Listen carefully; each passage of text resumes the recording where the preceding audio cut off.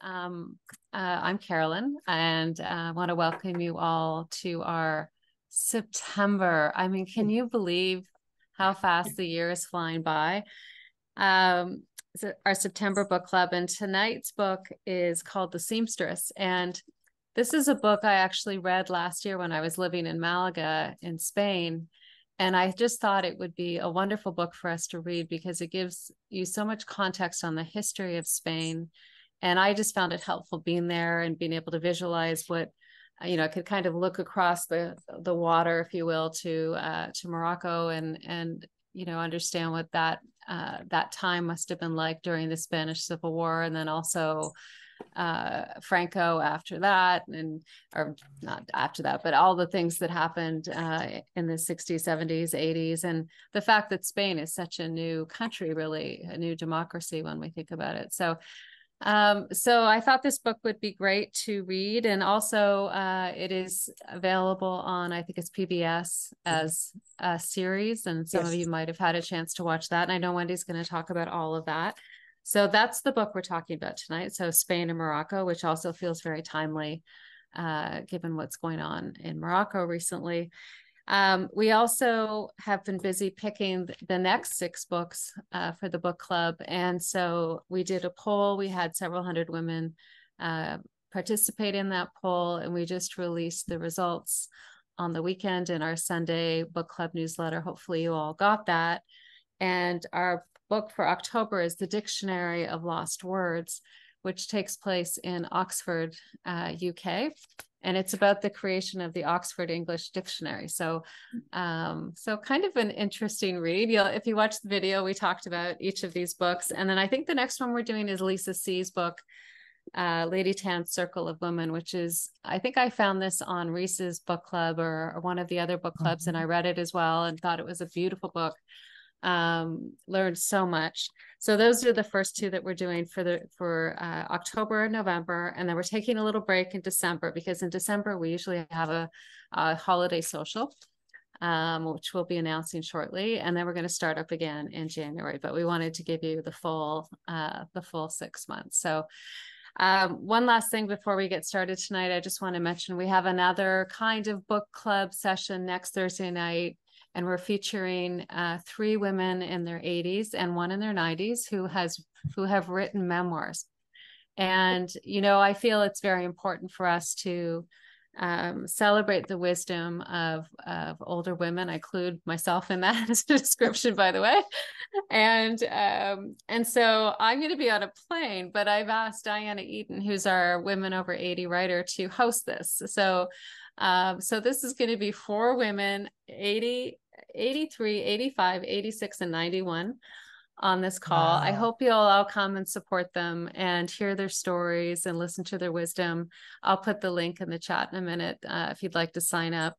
And um, and they're just amazing. I've met um, I've met two of well I've met three of them in person actually, and uh, wrote some articles about their books and and I hope you can make it next Thursday night um, to hear their stories. So this is the second one of these that we've done. We did a we did one. I think Sally, you were on our first one that we did mm-hmm. um, with your book, and so we're trying to profile not only you know well-known writers like these writers, but also there are so many women in the JourneyWoman community that have written amazing books. So I'm always looking to um, to share those as much as I can. So anyways, with that, I will turn it over to uh, Wendy and Sally to uh, start off our book club discussion tonight. And again, thank you all for coming, and uh, please invite your friends and and um, and let them know about this so they can come join these discussions in in the future. Thank you.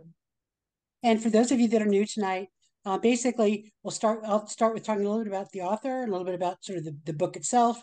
Then we'll go into a series of questions where you know, I'll ask a question that everybody can share or not. You don't have to share, uh, but if you have something to say, just either raise your hand um, and you can share at, for the question. Um, this book I found very interesting. It, it, was right up my alley because I love a spy movie or a spy story, and I love historical fiction, uh, historical fiction. But I also like historical nonfiction, and this was a melding of true history with uh, historical fiction. And in fact, our author said that she didn't want to fictionalize real people. but she wanted to use her own imagination to build her own characters. So she has taken real people from the past, um, and and they, you know, so for example, Samantha Fox, a real person, uh, she actually um, Samantha Fox, she's credited with persuading uh, Bender to support Britain and not Germany when he served in Franco's cabinet. And although later he was discredited, as we see in the book, uh, because of his British sympathies, um, his reluctance to embrace the values of the Nazis may have well kept Spain from entering the Second World War as an active participant. Um, so, you know, there are Samantha, that relationship did have a profound impact on history. Um, a, few of the other characters are in the book are real as well. Now, the book itself, in, it was written in Spanish, and the title of the book in Spanish is "The Time Between Seams." So it's a little bit Lovely. different. Yeah. Mm-hmm. Um, so uh, it has been written in twenty. It's been translated to twenty-five languages. It's been sold in seventy-five different countries and I think about we call it the time in between, and I think about what what does that in between mean? Is it between youth and adulthood? Is it between war and peace? Is it between love and duty? I mean, there's a lot of things we can talk about. What all of that does fit in between. Now, our author is a is a academic. She's a professor of of uh, English uh, in Spain, this was her debut novel. This was her first fictional novel. She'd only ever written academic work before. And I think for it being in her first novel, you know, we really see a lot of good prose coming out um, in the novel itself. She since then has written two other books. Um, one is set in the US in the 60s, 50s, and 60s. Uh, and one is set, uh, I don't remember what country, I think Spain in the 1860s, or Spain, Havana, and Mexico in the 1860s. And her new book, which will be released in October, October, is called Sira, which is a continuation of this book. This is what happens to Sira and Marcus after World War II is over and when they go to Israel. So um, that's going to be released in October of this year. So looking forward to you seeing that. So, with that, a little bit about the book. Well, we usually start with some favorite passages. Um, and so I'm going to, I did actually look mine up, but while I'm getting mine out on my Kindle, does anybody have any favorite sections of the book they want to share?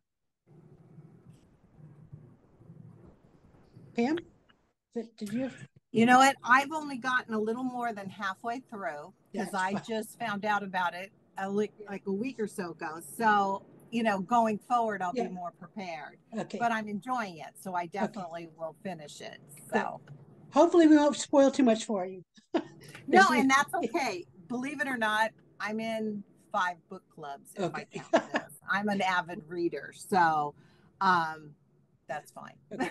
So one of the parts I liked is when she has just uh, opened up. She's about. She's now in Morocco. She's gone through her transition. She is starting her new adventure. And she says she knows that she needs to change. She's uh, she doesn't want. Uh, she says, I, I decided to confront the future from behind a mask of security, preventing people from seeing my fear, my miseries, and the dagger that was still piercing my soul. I decided to begin with the outside, to give myself the facade of a woman who is worldly and independent, to keep people from seeing my reality as the victim of a bastard and the dark origins of my establishment I was about to open. To do that, I'd have to put on a layer of makeup over the past, invent a present in great haste, and plan out a future as false as it was magnificent. And I'd have to act quickly. I had to begin right away. Not one more tear shed, not another lament, not a single submissive look back. Everything would be present. Everything should be today. So I choose a new personality that I drew out of my sleeve like a magician might whip out a string of handkerchiefs. I decided to transform myself, and my choice was to adopt the appearance of a woman who was solid, solvent, and experienced. And I like and that because portrayed herself like the woman that her mother worked for. Right. Exactly. She kind of, you know. And I like that because it's really, you know, this is a, a, a as part, it's it's a book of reinvention, right? Mm-hmm. She had mm-hmm. to reinvent herself several times, both um, to her general public as well as later when she was deceiving people. But I like the fact that, you know, again, it's the whole fake it till I make it. I'm gonna put I'm gonna put on the makeup, I'm gonna put on the the heels and the dress, and I'm gonna act the part, and no one will know. And I mm-hmm. think um, sometimes when we are afraid or hesitant, if we if we just act the part, we can get through it because it's not how we feel that others see us, it's how we act that others see us. And I think that's what she was trying to portray. Mm.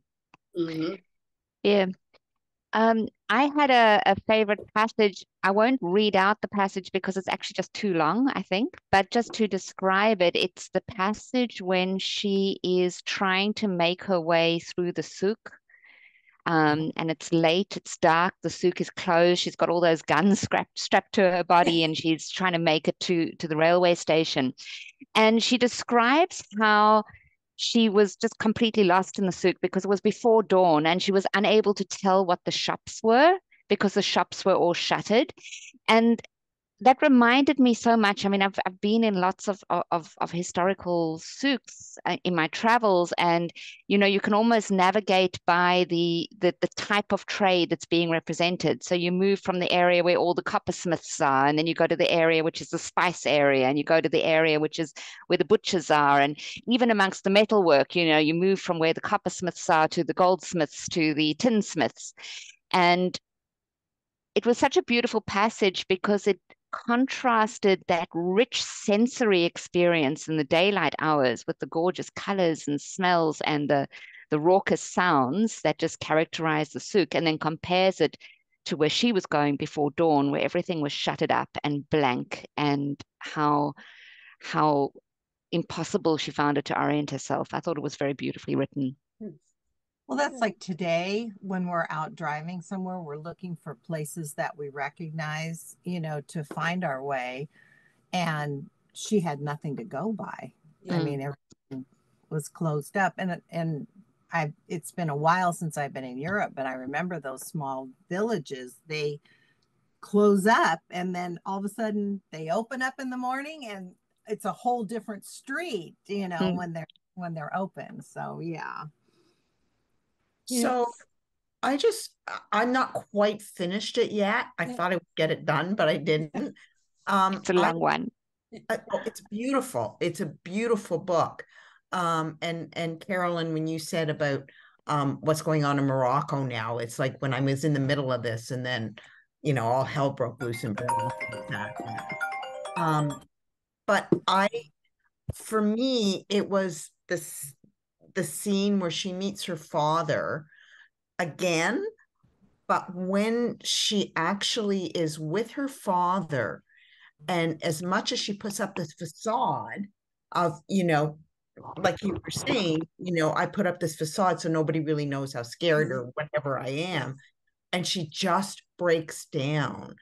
And and it's more than a and she says something about this is only the second time my father has hugged me or something like that. But I think it's more than that. I think it's that whole missing of that um, certainly a relationship with her father, if that's what she had wanted, but um, a missing of that entire part of her life that she just had to give up just like that. Like there was no slow movement into that part of her life. It was okay, the new me and how mm-hmm. she's been able to to do it. I'm actually just at the part, and I'm sorry for those who haven't finished it, but just at the part where she escapes from the hippodrome by mm-hmm. by fainting. And mm-hmm. I'm, you know, so I'm really now like, okay, let's get this book finished, but I got stuff going on. See, and I think that was my favorite part was at the hippodrome and how she managed to get herself yeah. out of there. Yes. Yeah. I thought that was, you know, I, I can't even, I, granted she was fictional but i can't even imagine in my wildest dreams being clever enough to come up with that under those circumstances well mm-hmm. is she fictional yeah i don't she I she yeah, yeah she well, is well i mean she may be based on based right. on a lot exactly. of other stories of of right. women who did this type of work but she is not a specific fictional person. Right. And but she, she- is not specifically trained for it either. She's just kind of quasi trained. Yeah. You know, No, and I think and a, that and a lot of the a lot of the women and younger people during the war who did this type of work were not really trained for it. Yeah. So it comes from another place. Mhm. And I I mean I don't even pretend to know what that place is, but it comes from another place and it's a very place of strength. yeah. and I think I think that the hippodrome scene to me, one of the things it did is it showed that she does have that internal instinct Mhm. that could then be used, you know, to the, a heightened degree, which she later is. It's it is Right. used for to a heightened degree, but I think that just goes to show that she has that kind of quick on her on her feet, thinking of ways to to get out of things and change things around, which is a, a portrayal of things to come, right? Hey. Did- as, as it was historic. Oh yeah, Mary. Oh no, go. I didn't mean to interrupt. No, no, I was going to go on to another question. So go on. Oh, I just, I just um felt was I was reading it that she must know how to sew, because um because I I love to sew, and when I was reading the part part the different parts throughout the book where she was describing stitching and the fabrics and it it, just resonated with me and, and made me miss uh miss sewing more. So I'm gonna pick up my sewing machine at some point. But and I felt how how clever to come up with the the Morse code stitching Yeah. put that into the into the fabric and then uh, relay your messages through that. Of course, I thought when, when they were putting it with the stitches and the, it reminded me of the Tale of Two Cities, putting it in the knitting. Yes. You know, it's the same kind of thing. Yeah. Or the No. Underground Railroad. Right. putting it in Yeah. And the quilts. Yeah. Yeah. You know, this I read a historic- lovely article. Sorry, Wendy. I read a lovely article. It was very short. I'll find the link and pop it in the chat, which was just her talking about how she, I guess I'm fascinated with the order of how an author comes up with these ideas. And she came up first with the location because her mother was was grew up in that part of the world in Morocco. And then she came up with the time period because she was looking at um, the uh the the Rosemary's lover. I've gone blank on his name. Uh, Um, the Spanish. But yes, she she she found out about him, and so that brought her the time period. And then she was trying to look for a hook on the time period, and she was reading up about him, and then she started coming up with real life examples of of espionage, of normal people being engaged in espionage, and that gave her the story. And then she was thinking back to her childhood, where she um, she said she she spent time in the home of seamstresses. I kind of got the impression maybe going with her mum when her mum was getting dresses made and the, the the conversations between the women that used to happen there. And then that brought that whole theme out.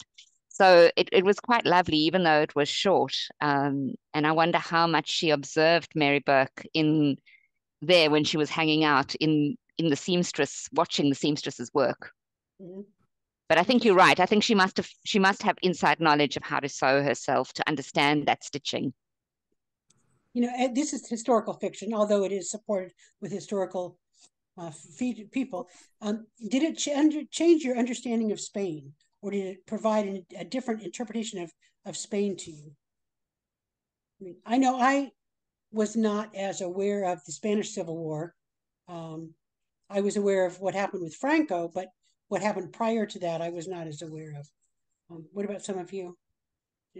Well, it seems like everything that I ever read about World War II was always, you know, French and German and, you know, the Lilac Girls and all the different Yeah.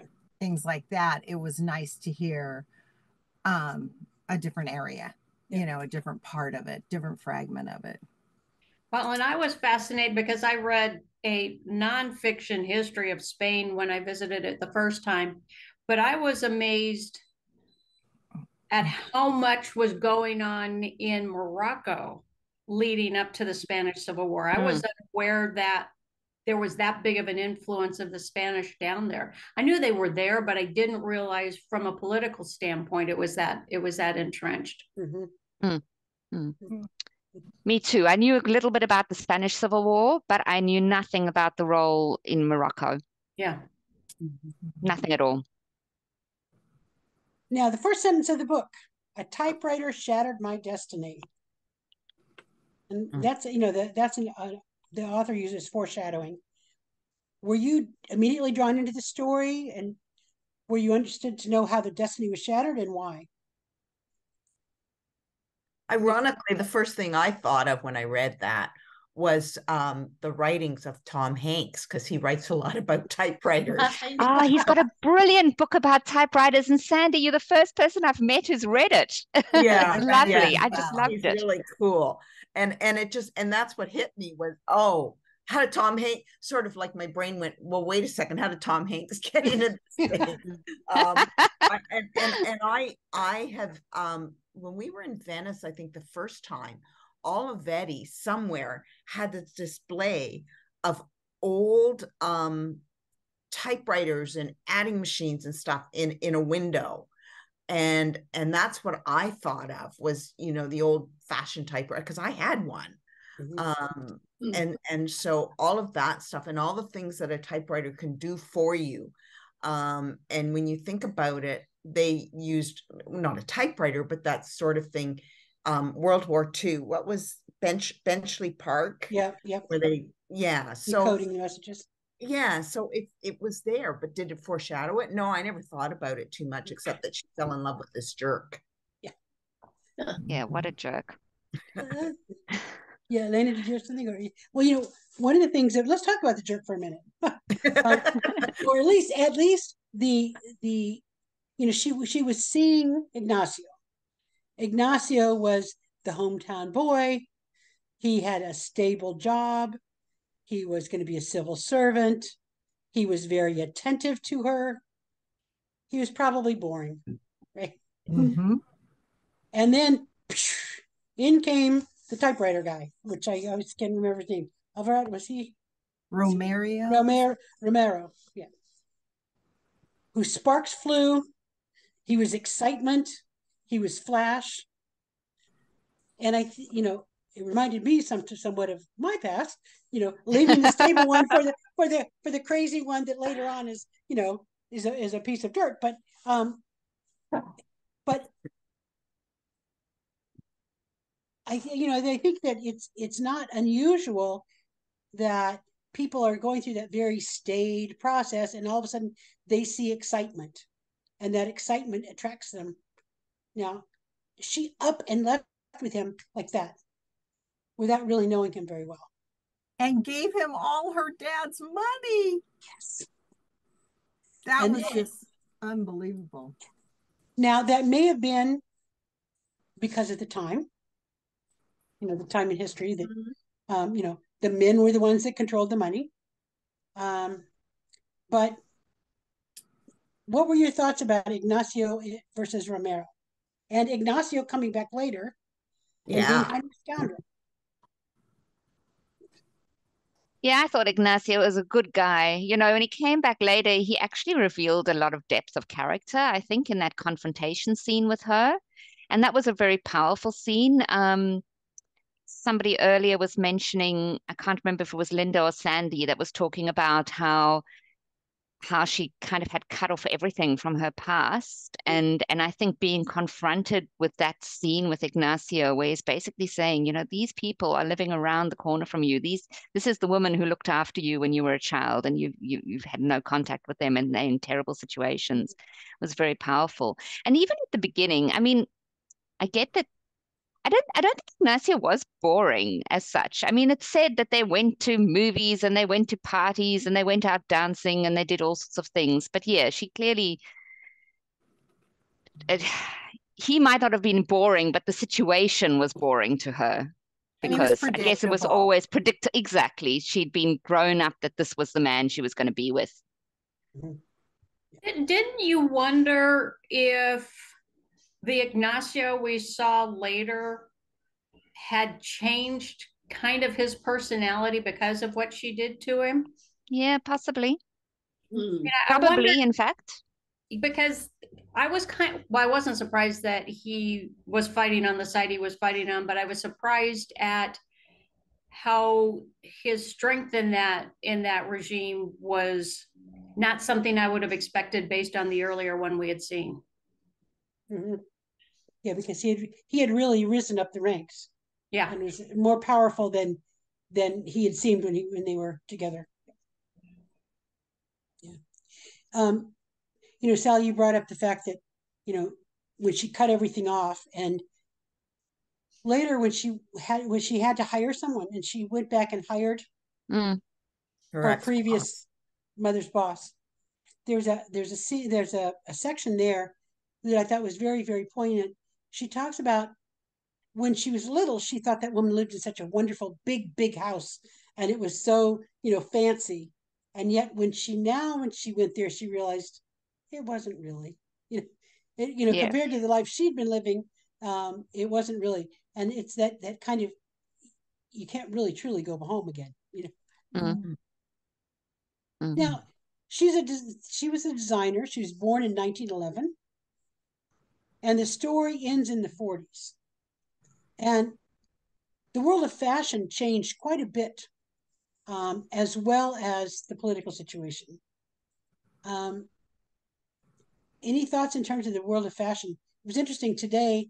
I was at a at a lecture series about fashion, um, and from the 1800s to the 1940s, and I didn't realize that you know during this time frame was when nylon was invented, rayon was invented, a lot of these oh. fabrics. So it really changed a lot how fashion was done um, during that period of time.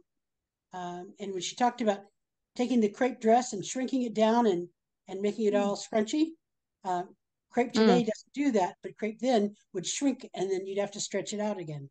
So there's um, quite a bit of changes in terms of the types of fashion um, that, and she was constantly being compared to, oh, it's just like the fashion in Paris. You know, she's because in Morocco they couldn't get the fashion. In Spain they couldn't get the fashion, and so that's where she filled this niche um, of the high high styles. One of the characters I liked in terms of fashion was her downstairs neighbor. Um, Felix. Yes, Felix. Felix. Yes. Yeah because Felix really knew what was happening in the fashion world, right? Yeah. And, so. Yeah. It would have been very interesting time too, because in Spain, I'm guessing, um, I don't know very much about fashion, but I'm guessing that, you know, there was that whole overturning of the society of the past, and that would have made space for new designers. Mm-hmm uh, and new thoughts and new mm-hmm. trends to come out in all aspects of society. Um, so, so I'd imagine that a lot of the kind of established elite tailors and seamstresses fell out of fell out of favor because they would have served the the old powers mm-hmm. and then new people stepped into their shoes and and and completely overturned things and it was also interesting that um, the shortage of materials gave her an in she might never have been able to to make a success of of a seamstress's life in Madrid if she wasn't bringing all these materials from Morocco that were just no yes. longer available because they were being used for uniforms and bandages and parachutes. Mm-hmm. And I think also, even when she was in Morocco, the fact that she had Candelaria. I love Candelaria. who, who was able to sort of get all this black market stuff for her again, you know, was uh, it was an advantage she had over others as well. So yeah. I, I think my favorite characters in the book were the boarders at Candelaria. The, the, the, the, scenes of the dinner time arguments with the boarders. Those were my favorites. Sorry, Mary Burke, you had your hand up. Uh, did anybody? I, I, was waiting to find out that Candelaria was ripping her off or wasn't going to give her her full half because they were splitting splitting it. Did anybody mm-hmm. else was anybody else anxious about that thinking this isn't going to work out half and half i for some reason i don't know why i thought that but well, because she was technically a con artist too, right? You know, yeah. Well, Candelaria definitely was a con artist. Mm-hmm. But but you know, she, did you think she might not end up giving her the full amount that she was due? Yeah. In fact, I was surprised that, um, and I don't know whether it's in the book or in the miniseries that you know the money came all in to Sarah, and Sarah yeah. would then count out half and give it to Candelaria, right. which I was surprised that yeah they actually did do the half and half. But when she first proposed it, I thought it wasn't gonna it wasn't gonna come that yes. Way.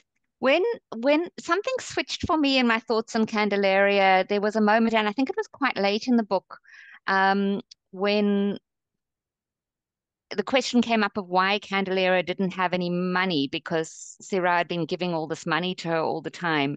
And then it transpired that Candelaria had been supporting her border, the border that died. And, and paid for his funeral and everything. And paid for his funeral and his medical expenses and everything. And that kind of had a little switch in my head for Candelaria where I realized actually she was a, mm-hmm. you know, a good person underneath the con artist uh, who was trying to make her way in the world. Yeah. Mm-hmm. She also had a thing going with the with the cop too. Yeah. Uh, who told um, um, Sarah that she had to pay back.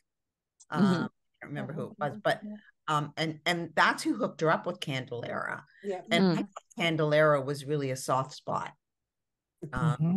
You know, she played harsh, but she was also the one who could get the stuff um, because she was sneaky. Um, but you're right. She she wound up paying for the funeral and mm. you know and housing literally housing these people who maybe wouldn't have been able to find a place to live if it wasn't for her. I felt like Candelaria, and I can't remember what I based this on. I felt like she had, you know, she had that real kind of criminal element to her. Um, but I felt like that life had forced her into a position where she possibly as a woman at that time had had to take that path because um, you know her first steps along that criminal path I, I, got the feeling that she may have been forced into that by circumstances. And then once she was in it she found she had a real talent for it and took to it.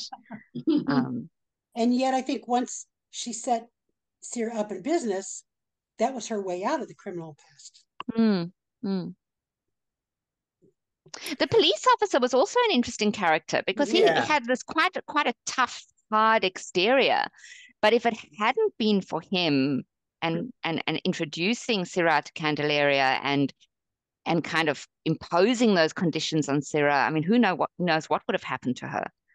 and really she like stood up to him when she said, "Now I have a legitimate business, you know, and I'm I'm saving to pay my debt." But she told him, I want to get my mother out.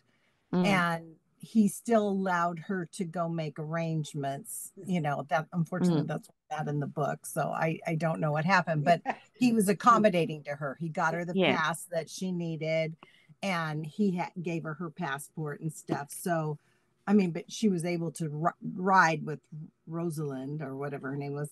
But um, he showed his soft side there too. So. Bit of tough love, I think. I thought it was yes. a very parental figure. You know, he, yes. was, he was really playing that figure to her. Or Big Brother or yeah, whatever. Right. But ladies, I'm so sorry I have to leave. I have another appointment tonight, but it was great meeting everybody and I will be back next month and I will Good. have the book read. we'll look nice forward to seeing you next month, Pam. okay, thank you. You know, with the with the whole reinvention, now how did Sira how is Sira different than Arish? You know, when she went back, when she went to Portugal, or when she went to Spain and became Arish, um, how did she reinvent herself then? Was she different? Or was this just a different side of her? Because essentially she was doing the same thing. Yeah. She was mm-hmm. designing dresses for very fashionable women who were high up you know, and had husbands or lovers or whatever who were high up. So I think it was more about accommodating um, so that she could do the um, espionage that they wanted her to do more mm-hmm. than anything else. I think it's just a different side of her. Same person, different side. I'm I'm I think when she worked with her mom, she was um in a very bad situation um and then sadly she you know got with this this jerk R- romeo or whatever well that's probably a good name for him um probably. um but i think she moved herself from that. She said i'm not letting this happen to me ever again and i'm going to have enough money to keep myself the way i want to be kept. And i don't mean that in a negative way at all and so I don't, I think her name changed Um, she had to be what she was doing, but I think it's it's just a different part of her, personally. Mm. I think that she does undergo major transformations through the story, but those transformations are earlier on. Mm. Like her transformation from her staid early life to her passionate whirlwind, disastrous romance to her devastation, and then to her when she sets herself up as a seamstress in Morocco. Those are where all those transformation happens. I agree, Sandy. And then it was when uh, uh, that that final step. I mean, yes, there was a reinvention of herself in a conscious way because she was undercover. Mm-hmm. Um, in, involved in espionage, but she'd already found her agency and her strength of character before that happened. I think. Yeah, I think I think that her transformation into a, a, Arish was not so much a personal transformation as it was she was cognizant of. I think she upped her game in terms of how she mm-hmm. presented herself as slightly even more sophisticated, a little more haughty, a little more you know va va voom. But but I think it did not transform her character. It's just the way she presented herself. I, mm-hmm. Whereas the earlier the earlier transformation is when she presented when she was going through the initial stages um, in Morocco where she had to put on this this face.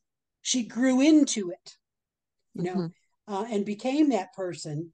Whereas in in in Spain, she was putting on a face that she knew that was a face, and but it wasn't changing her personality. Mm-hmm. And yet, when she was back in Madrid, you know, when Ignacio chewed her out, uh, she had left a huge part of herself somewhere. Yeah. And I, you know, she was she was under orders not to go back and see her neighbors, and and I understand why she didn't.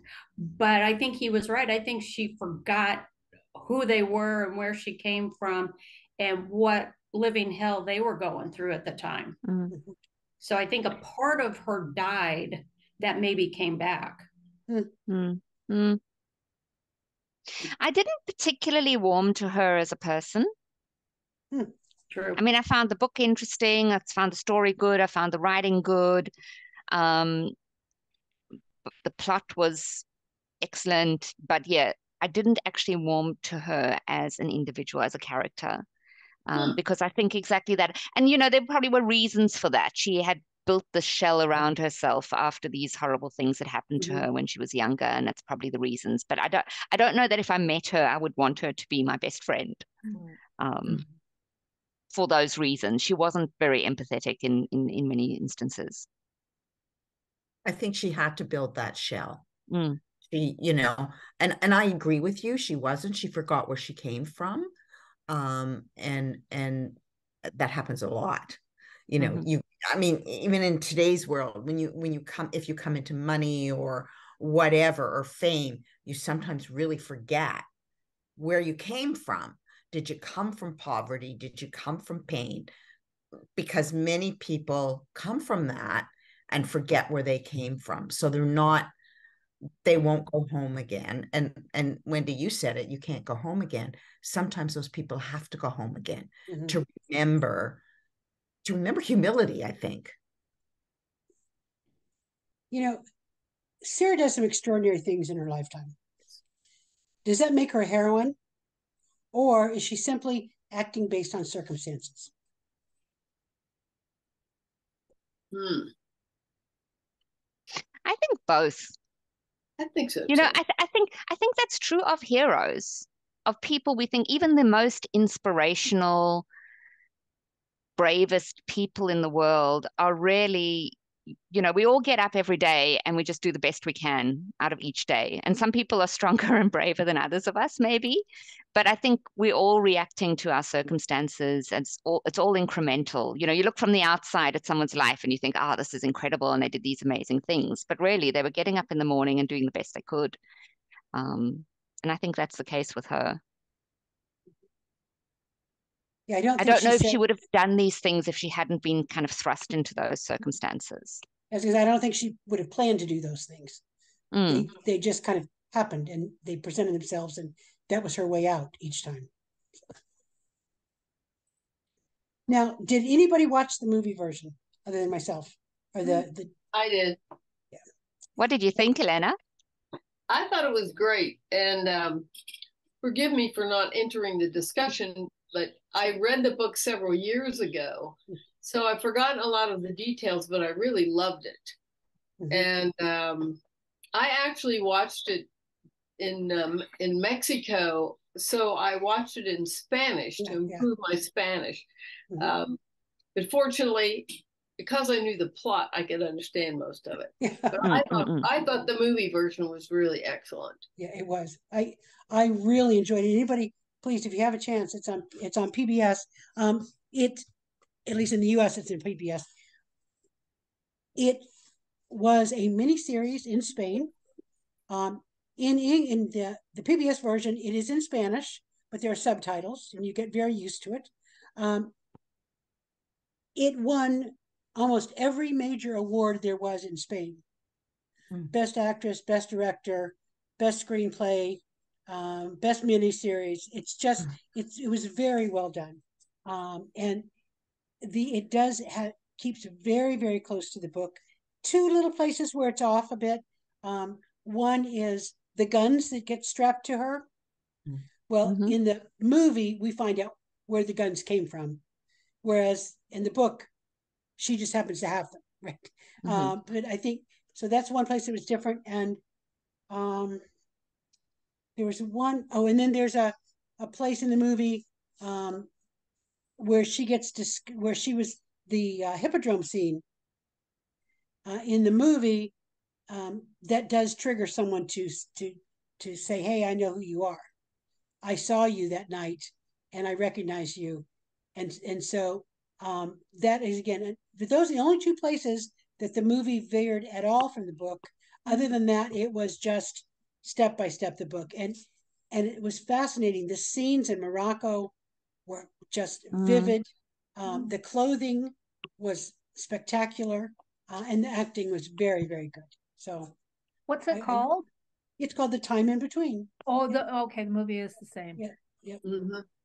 I didn't see the TV series, but I did read and just in a blog when I was researching this, I read someone saying that that uh, when the TV show was released in Spain, that online sales of sewing machines in Spain increased by 176%. great. I don't know if that's a true stat or over what period of time, but it did give me a laugh. Yeah, yeah. Did the book make any of you want to travel to Spain or Morocco? Oh, uh, Morocco. Mm. Yeah, I, yeah. I've been to Spain. I've never been to Morocco, and it's um, Same. it's yeah, it's a possibility. Not right now. Not right now. Um, that's the last thing in the world they need are tourists right now. But um, yeah, I and I quite liked the parts of Spain I was in, and I saw a lot of the Moorish details and all that stuff. Mm. So I think I would just see more in Morocco, right? Makes sense. Makes sense. Yeah. I mean, I haven't. I love Spain, I but I really. Sorry. Go on, go on, Sandra.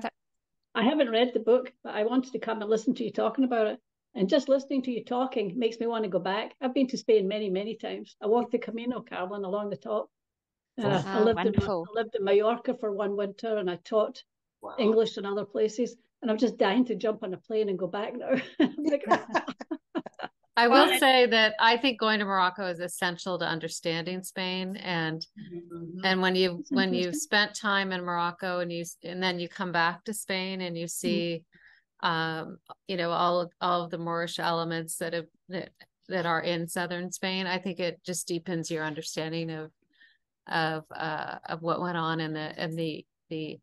I mean, you just forget that Spain is ancient. Like, yeah. you know, um, in that in that area of southern Spain in particular, you know, right up to Cordoba and Seville and everywhere is um, there's just beautiful, beautiful um, things that have been preserved thank goodness mm-hmm. from that time so so i really suggested and in terms of going to morocco you know obviously i don't think now is the time either although they, they are kind of saying come to some places of morocco right. but um uh but uh, i i spent three weeks in morocco uh gosh i don't know five six years ago and and and and I just think those two countries go kind of hand in hand. So, you know, we had another book that was had some we had Morocco in it just recently, didn't we? Yeah, we have we've done a few. Yeah, it's a very I, I popular. Was, but um, yeah, but this one really intrigued me to want to go. I'm not sure why, but it really. Yeah, did. the one we other one we read was by Alice Morrison. Tangerine. Yeah, Tangerine. Oh, yes, um, and Morocco to Timbuktu. Mm-hmm. And yes, Morocco to Timbuktu. And yeah. then we did one another one uh, about the divers' clothes lie empty. Yes. Oh yeah, yeah, yeah, yeah. So we've done several books on yeah. Morocco, but I, I think this one is a little more um, you know, obviously more realistic.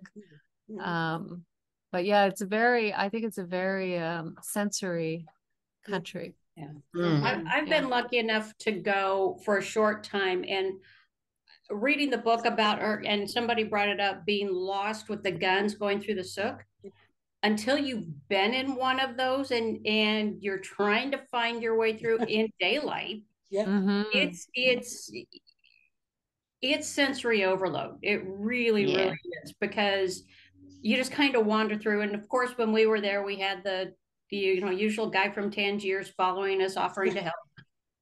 Yeah. But mm-hmm. yeah. yep, yep. Well, and ladies, sell you a rug. Yeah, you're right. ladies, we're we're coming to the end of our hour.